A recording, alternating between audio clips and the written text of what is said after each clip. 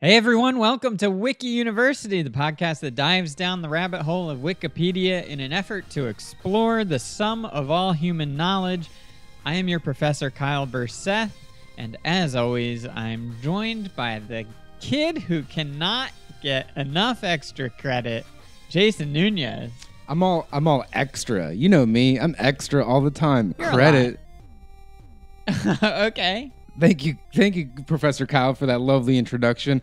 Folks, I want to thank you first and foremost for joining us today. Thank you for liking and subscribing, and please, uh, just a friendly reminder to review us on YouTube or Spotify or wherever you listen to this lovely video podcast. Watch the podcast or listen to it. That is. Do people do reviews on YouTube? Is that a, considered a comment? They will. Yeah, that I think that's a good way of putting it. You review it. What do you mean? That's a thumbs up, thumbs down. That's the review. Oh, thumbs up, thumbs down. Yeah. Siskel and Ebert style. Siskel and e- Mm. YouTube stole Siskel and Ebert style. No, I think rating. they did stars, maybe. What did?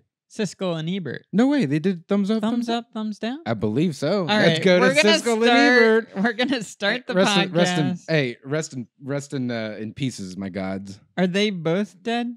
I hope so. And by that I mean only because I just rested them in peace.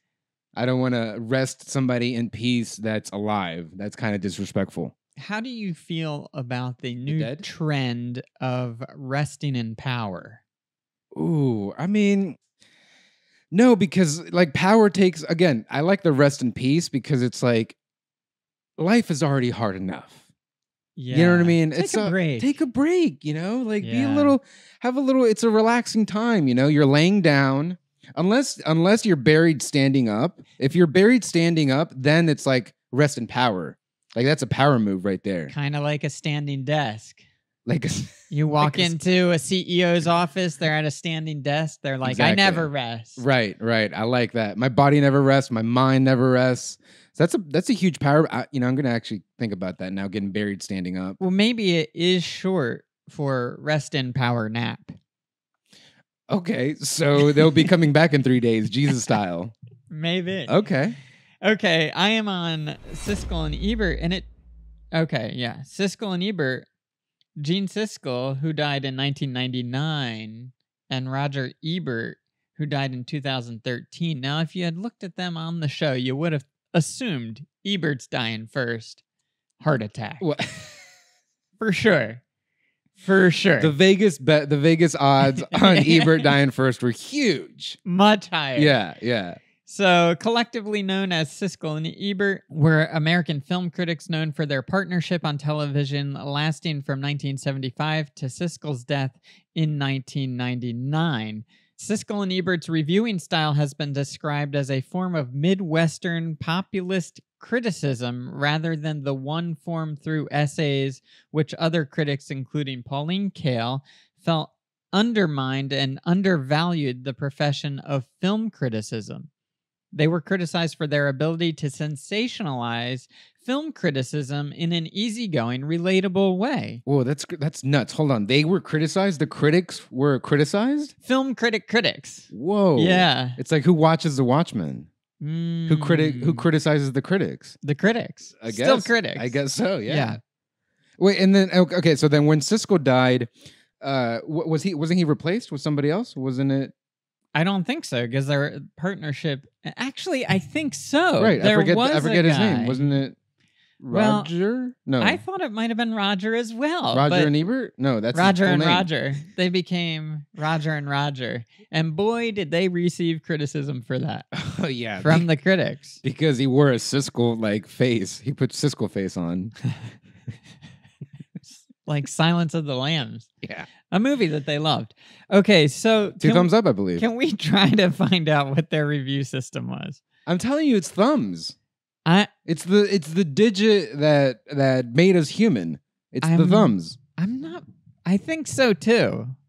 Okay, known for their sharp and biting wit, intense professional rivalry, heated arguments, and their binary quote unquote thumbs up or thumbs down summations, the duo became a sensation in American popular culture. How do you I- feel about that rating system? I love it. It's simple. Pass or fail. pa- pass or fail. I love it. Just like most of my high school classes. I love it. It's Most of your high school classes are pass or fail. I told them when I got in first day, I was like, just give me the pass or fail. I don't even. I don't, I'm gonna be on the edge of F or D either way. So let's just make it a pass or fail. Give me a pass or fail, and I most of them were passed. So Good for you. uh, let's see. So we never answered my question though. Did they get? Did Siskel get replaced? Okay, so we answered the question of the rating system, thumbs up, which I believe it's a great uh, system because it's it's universal. Unless I believe it's in some country. Isn't there the thing like in some country like a thumbs up means like f f, F you you? man. I don't know. I know like shaking hands with the with a certain hand is disregarded because like certain cultures they used to wipe with their left hand. Oh right, Yeah. Uh wait, which hand was it again that I wipe with? um all right, shake right, wipe left. Let's just, Uh, let's just bump in the COVID world. Let's just bump. Yeah. And then is the bump also like uh, is the fist when you fist somebody? Do they think it's r- disrespectful? Like is this is this my fi- I got to remember is this my wiping hand or is this my fisting hand? I always get those confused. You gotta put that on a sticky note on at your standing desk. I, That's a power move. I gotta, we got to put that on a T-shirt if anything. It's wiping hand or fisting hand. yeah. Okay, so aha. The main article I need to go to, I believe, is at the movies. Gotta believe. Does that sound familiar? Yes. Yes. I used to watch that.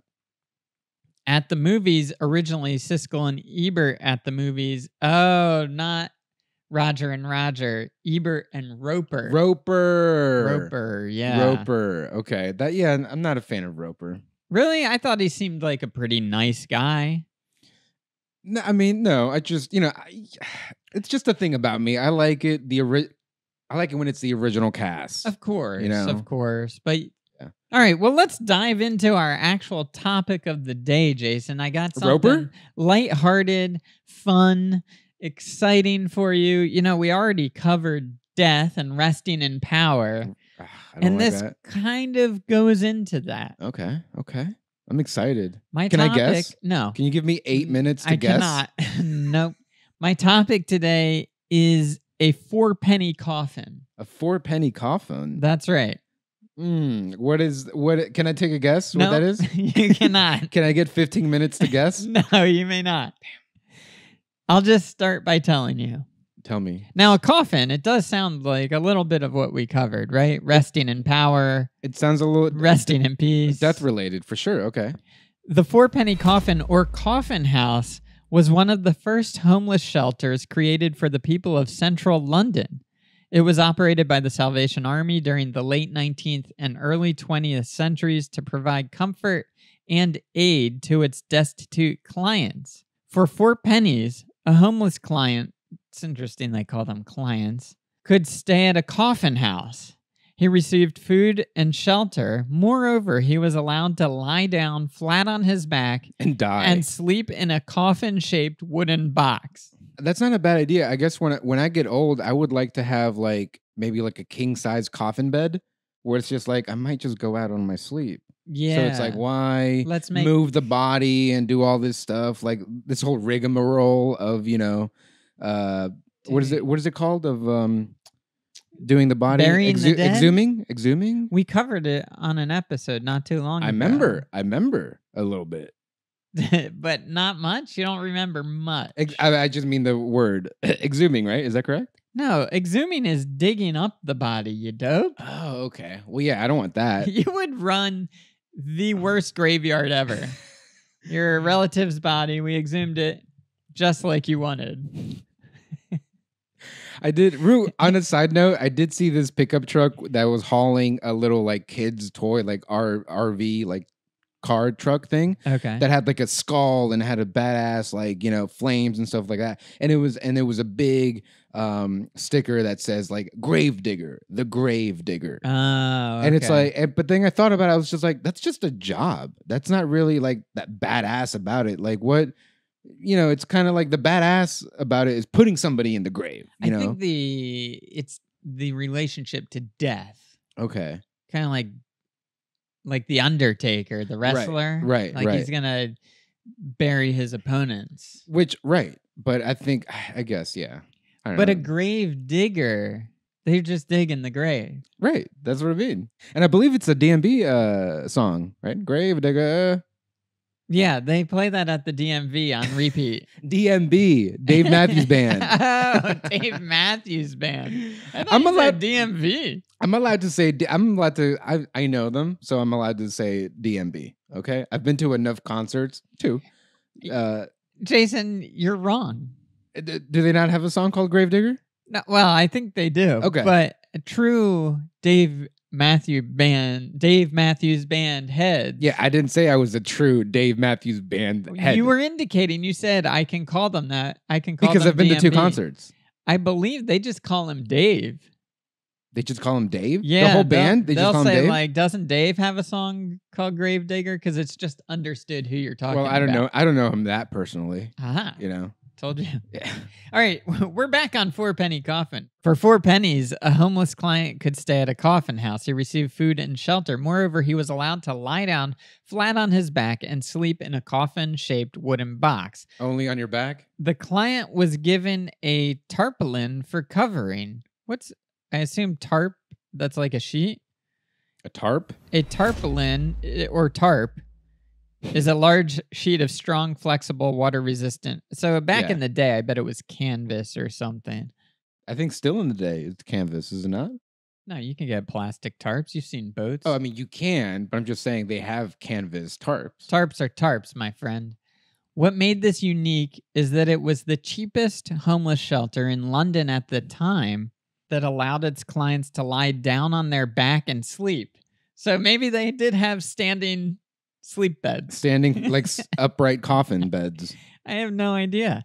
The Salvation Army also offered shelters that allowed its clients to sleep on a bed for a much higher price. Hence, the coffin house Fifteen pennies. was popular because it offered an economical and mid range solution for homeless clients looking for relief from the cold. So, just to be clear in their pricing structure, this is mid range. I assume cheap is just out on the streets. That's what Wiki is saying. Yeah, where's the wait? Where's the five star coffin uh, Salvation well, that's Army the bed. motel? That's the bed. Mm. Compared with modern examples, the shelter is considered inadequate. It so was there wasn't a, like a continental breakfast in the morning. what does complement a coffin? I assume London, you got to go just like a tea. You get like tea. Tea from, but like not like just rainwater tea. Yeah, it's they heat up rainwater. yeah. It's got flavor, but not the kind you want. right, right, and there's and that's the the flavor comes in from the rain. There's no actual yeah, the tea- roof right. runoff is that's little little grit. roof there. runoff. That's another uh, Dave Matthews Band song. DMB. Yeah, DM, was- oh, I didn't know you know him like that. Compared with modern examples, this shelter is considered inadequate. It was, however, considered an inexpensive and compassionate attempt to deal with the relatively new problem of homelessness. This shelter provided relief from the harsh London winters and was viewed by many at the time as having the benefit of attracting new followers to Christianity.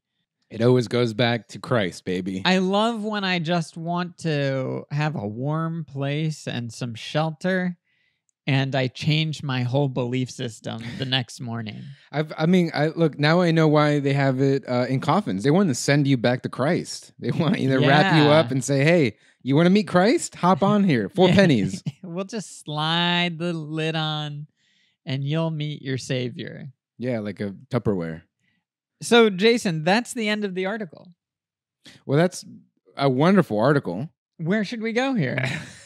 we can go anywhere. We could go to with, DMB. Cr- with Christ. Oh, DMB. Yeah, yeah, yeah. you want to go to Dave Matthews Band? Yeah, let's do it. Let's see this Gravedigger song. Can I ask what is your relationship with Dave Matthews Band? I used to just in high school. I used to go tailgate, uh, tailgate uh, his concerts for some tail. Would you go into the concert? Nah, I was barely into him. I was more about into the ladies who listened to that band. Oh, well, th- you would have fit in right at my high school. Nice. Dave Matthews Band, also known by the initialism DMB, There you go. See? is an American rock band formed in Charlottesville, Virginia in 1991. The band's founding members are Well, we singer don't- Hey, we don't talk songwriter about Charlottesville. and guitarist Dave Matthews, bassist Stefan Lessard, drummer and backing vocalist Carter Beauford, violinist and backing vocalist Boyd Tinsley, and saxophonist Leroy Moore. Do you want to go to their history? How much time do we want, want to really spend Dedicate to, with Dave, Dave. Matthews here? I mean, Dave. it depends if we're gonna jam out for a little bit. Could be a while. He's he's Virginia's um Jesus Christ. A jam band, Dave Matthews Band is renowned for its live shows. The band is known for playing songs differently each performance. This practice has become a staple of their live shows since the early 1990s. It was like it was like a snowflake. I always remember saying that. That band is a snowflake. Each each, uh, Each performance, is performance different, is a like a snowflake. different. Like yeah, a they're all snowflakes. snowflakes. Yeah. So this is their formation. Songwriter David John Matthews, working in Charlottesville, Virginia as a bartender at Miller's Bar in November 1990, became a friend of a lawyer named Ross Hoffman. Hoffman convinced Matthews to record a demo of the few songs Matthews had written and encouraged him to approach Carter Beauford, a local drummer on the Charlottesville music scene. Who's this lawyer that's just going around to bartenders being like, you should record a demo? Hey, this is you know what I like that guy for a lawyer. Pretty nice dude for just going out there and like uh, really um, uh, motivating people. Do you even play an instrument? I don't care. Record a demo. But then he got in because the contractually, he got some. He got some on on the You back end. You know what I mean? You he put sign those enough con- contracts. Yeah, he was like, let me, he was like, let me put this contract together for you, and I'll get a nominal fee. You know. Mm-hmm. After hearing Matthew's demo, Carter agreed to spend some time playing the drums both inside and outside the studio. Matthews also approached Leroy Moore, another local jazz musician who often performed with the John D'earth Quintet, to join them. There's no way a Quin- band called the John D'earth Quintet is going to make it big. So good move on his part. Quintet. That's Five? eleven. We'll never know. No, five is pentet. Pentet. But I think it's all all right. It's a group containing five members. Ah. Why do you question your professor? It's always good to question everything. As a student, I know that. The trio began working on Matthews' songs in 1991. Matthews recollects that, quote unquote, the reason I went to Carter was not because I needed a drummer, but because I thought he was the baddest thing I'd ever seen. And Leroy, it wasn't because I desperately wanted a saxophone, it was because this guy just blew my mind. At this jazz place I used to bartend at Miller's, I would just sit back and watch him. I would be serving the musicians fat whiskeys and they'd be getting more and more hosed, but no matter how much he he used to still blow my mind. And it was the sense that everyone played from the heart. And when we got together and they asked, "What do you want the music to sound like?" I said, "I know this is a song I wrote and I like what you guys play, so I want you to play the way you react to my song." Hmm. Interesting. There was a lot of breaking our inhibitions. Yeah, because they were they were all uh, hosed up. Yeah, As he puts drinking fat whiskeys. Yeah. Okay. Let's fast forward a little bit. This is a long article written by a fan. For years, it was believed sure. that the band's first public show was April 21st, 1991, at Charlottesville's Earth Day Festival. On October 9th, 2010, Stefan Lessard reported via Twitter the discovery of an earlier show taped March 14, 1991 at Trax, a local music venue. The show was a benefit for the Middle East Children's Alliance and included the following songs Typical Situation, Best of What's Around, I'll Back You Up, Song That Jane Likes, Warehouse, Cry Freedom, and recently, all DMB bangers. All DMB bangers. Uh, yeah, I was not too much into those bangers at all. Why don't we move? There was a few that I did enjoy, like Gravedigger, to be honest, and that was like late in the game and Wha- not that well received, I believe. I, I believe you are Right. My brother was super into Dave Matthews, which made me not super into Dave He's Matthews a Dave head. until I met a girl that was super into Dave Matthews. then I was like, I'm back in. okay, so do you want to go to something else here, Jheisson? uh, yeah, let's. The true Dave heads can they know the history, They and everyone yeah. else is like, nah. I will say, I did enjoy the use of his song in Lady Bird. Oh, I haven't seen it. Oh, okay. No spoilers there. No spoilers. Yeah. They- uh, so they played Gravedigger in Lady Bird. No, get off of Gravedigger. No one's played Gravedigger in any situation. I'm playing Gravedigger on my funeral while they're burying me in the same bed that I died in. they played the song Crash Into Me. Oh yeah, okay, yeah. I I know that song. Not a fan. Well, I think it has gotten a lot of heat over the years as maybe being a little cheesy. Mm, And okay. Lady Bird used it in a very sincere way. okay. Good movie, I think. Did a car crash happen? No, it's about two lovers, I believe. Uh, I thought it was about two vehicles hitting each other. okay, so what should we go to, Jheisson? Did anybody else from uh, Charlottesville come into pro- uh, prominence? You mean just in general? Yeah. There is a separate article called List of People from Charlottesville, Virginia. Okay. But let's start here. Since the city's early formation, it has been home to numerous notable individuals from historic figures, Thomas Jefferson and James Monroe, to literary giants, Wait, TJ's from. Charlottesville. I Like he was it's born there? well known that he. No, I don't think he was born there. Oh, okay. So then he was probably born in Britain, right? So what did, did TJ go to? Uh, he go to- Monticello, Monticello. but Monticello is not. That's in Charlottesville. It is. Yeah, his home. He lived in Charlottesville. Oh, I just thought he went to UVA. Come on, Jheisson. I think he helped design UVA. I can see that. Yeah. Why can you see that? Why can you see that, Jheisson? Because there's a statue of him there. His resting place in power is at Monticello, Virginia. Oh, does it have its own zip code? Monticello is a whole different. Yeah, that's what I TJ. TJ was not born in Britain. He was born in Shadwell, Virginia, British America. At the time, it was called British America. was a now it's now it's called America's America. Okay, Monticello was the primary plantation of Thomas Jefferson, a founding father and third president, Whoa! Don't Who hey, don't say that word. Don't say who plantation, began 'cause- designing Monticello after inheriting land from his father at age 14. Man, if I inherit, I don't know what I would do. I was 14. I just inherit like acres and acres. And you're like, time to start designing because I know nothing. Yeah. Although at 14, everything was fast forwarded by then, so or back then. Meaning, You know, the lifespan was like maybe 45 if you're lucky. okay. I imagine if you inherited land at 14 and you got to you want to start designing it, it's not like you're you know sketching things in your coloring book like kids now. I mean, 14-year-olds are still working on coloring now, hey, right? hey, I was. I'd be honest with you. I was 14. I was still doing a couple coloring books. I believe it. Now they got adult coloring books. So oh yeah, that's Mm, true. yeah. You got to blow off some steam. yeah, you do it by way of color. Okay, I'm back on notable people from Charlottesville. Okay. Edgar Allan Poe and William Faulkner. Hey, Uh, easy there. as well as multi-billionaires John Klug and Edgar Bronf- Bronfman Sr. Oh, John Klugman. Do you Okay. know who John Klug is? No, but what do How you do-? How's he a billionaire? Yeah, yeah, yeah, yeah. Tech.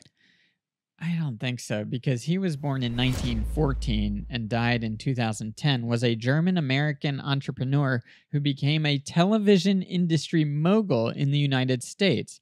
At one time, he was the richest America. person in the U.S. Klug's major move into media was by purchasing stock in Metropolitan Broadcasting Corporation, MBC. He saw he saw the big picture, baby. In the mid 1950s, the Metropolitan Broadcasting Corporation was the successor of the DuMont Television Network, which was spun off from DuMont Laboratories after the television network ceased operations in 1956. Metropolitan Broadcasting consisted of two stations, WABD in New York City and WTTG in Washington, D.C., both former DuMont outlets now operating as independent stations. Klug joined the company as its board chairman and largest stockholder in 1958, acquiring the bulk of his shares and founder Alan B. DuMont for about $6 million. So it sounds like he was wealthy a little bit before that. That's what I, that's what I would like to do is be one of those wealthy people who like nobody knows about, you know. Oh, who just has $6 million and then you're like, yeah. okay, I don't need to go on Shark Tank. Let me just be a shark. Exactly. I don't I don't need all the uh the glitz and glamour, you know. You just sit back, relax and, and cha-ching your way up until, you know, you, you're dead in your coffin bed. Your four penny coffin. Your four penny coffin bed. I mean, that's how most uh, wealthy people get are become wealthy because they're not so extravagant in their Mm, in their um coffins. In 1986, Klug sold the Metromedia television stations to 20th Century Fox, then controlled by News Corp, for a reported US $4 billion.